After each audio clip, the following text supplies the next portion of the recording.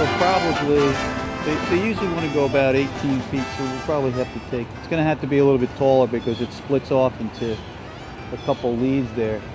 So we'll get this in the building. He said it was about waist high when the tree was planted, Okay. probably 30 plus years ago. And I used to get a big kick out of actually decorating this tree when I first bought the house 15 years ago when it was manageable. I, I could get on a ladder and actually put lights and ornaments, and uh, I used to actually put a star on that tree, which is funny. But I was looking around for a cone so I can show you that it is a Douglas fir. There's, there's a couple up there. Douglas firs are kind of unique. You see the cone right here? One, very tight, but that has those little bracts that come off the sides there. Um, you know, that's what I look for right away to see what, what it is. And it's gotten to the point now where um, many, many years ago I said enough because I was hanging off ladders and, Yeah. you know, doing things. And I think I even took a dive a few times off the no. ladder. Trying, I said, no more decorating that tree. No, it's just a wonderful feeling that the county's going to get to enjoy this for uh, for the holiday season, Christmas. Uh, we'll miss it though. We'll we miss will. it. We'll miss it.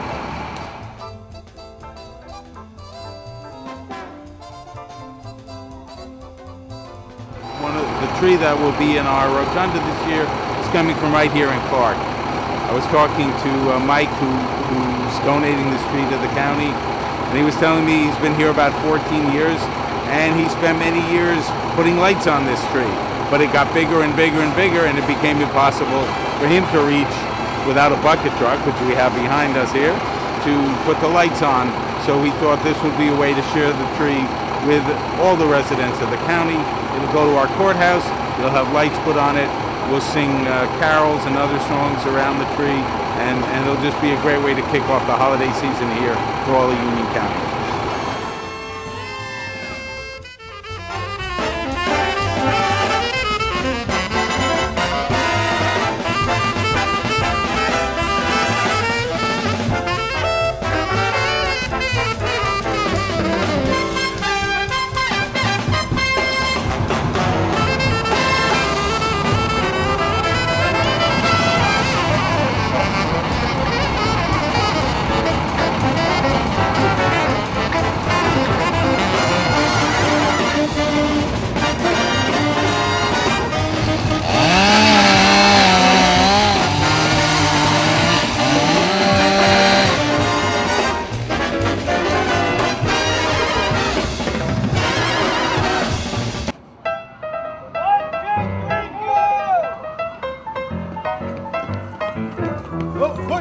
Hey!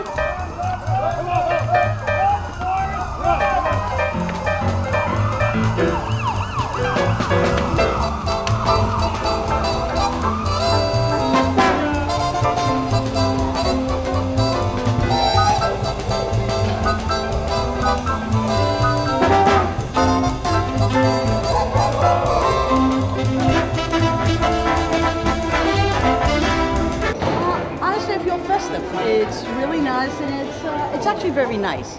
It's one of the guilty pleasures I think that I enjoy that's offered to to us city employees and county employees. Kids do. Um, they do Christmas caroling around the tree, and it's it's all it's like a good feeling. It's a really good feeling when um, when this time comes around. Everybody is all on one accord. It's like you don't think about anything else because this season kind of brings out the best in people.